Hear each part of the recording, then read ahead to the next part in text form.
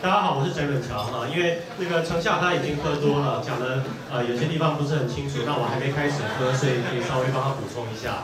那呃，我今天因为带小孩来，所以没办法带电脑，但是呢，在 slide 的呃，我我就用描述的让大家想象一下，就是我们为什么会选择这个方式来做。大家知道我前两个礼拜帮忙内阁上课哈，其中有一段很重要就是讲说政府的思维怎么样改变。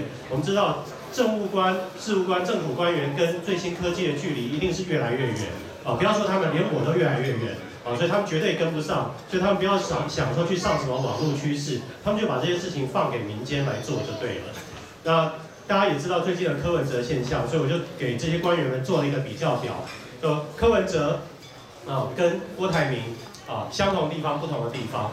那第一个呢是两个人都很独裁，是相同的地方。那不同的地方呢是柯文哲会充分授权，郭台铭不会充分授权，所以柯文哲胜啊。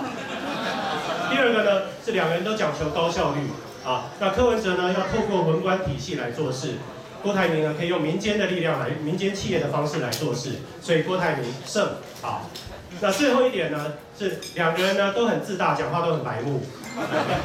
那但是呢？柯文哲粉丝很多，郭台铭钱很多，那这个不能说哪一边直接就胜，因为有人没钱，有钱没人都是办不了事，所以两个要加起来才会胜。所以呢，这个台湾开放资料中心的构想，就是说由政府支持，民间出资，当然不是郭台铭出资啊。那我们找十家不同的企业，跨各个领域啊，包括电信、食食品啊、金融等等等等各种不同的领域，然后一些比较有社会呃。这个企业社会责任观念的这些企业来出钱，然后来做这个开放资料中心，然后让大家在这上面用把政府的资料放出来，然后大家修正资料放在上面，不必送回政府去污染它的资料库啊。那用这这些方式来做，然后大家在这上面可以有一个创新创业的环境。那最重要的就是说，政府不用出钱。然后民间出钱出力，那政府呢？只要 officially 说我的资料放给你就对了。当然这也不是独家的，可以有很多家，所以像刚刚彭博士的这个机构也可以做。然后现在看起来我是必须要喝一杯嘛。OK。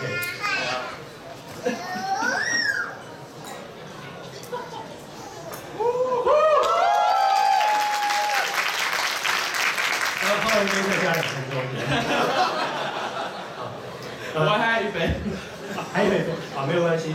那接下来的话，就是我们会在三月份正式展开这个计划。目前城下在很努力的这个编写计划细执行细节之中。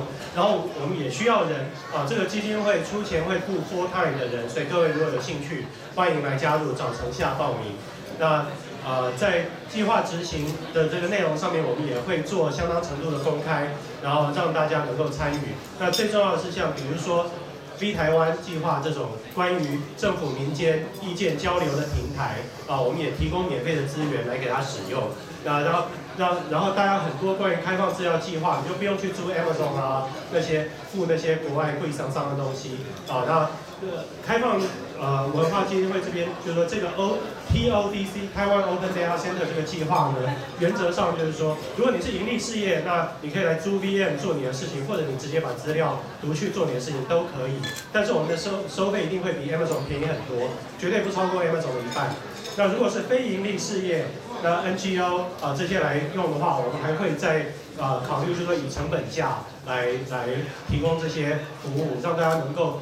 充分运用开放资料，然后本地处理，你不用去政府拉，那个反应很慢啊。然后，而且我们未来计划扩展到不止台湾，我们把全世界的开放资料都捞回来，然后集中在本地，让大家能够在高效率的状况下来做这些你想要的运算啊。那也让这个资料中心以后变成一个自给自足的单位，那不用再就过几年之后就不用再仰赖企业捐款这样子。好，谢谢大家。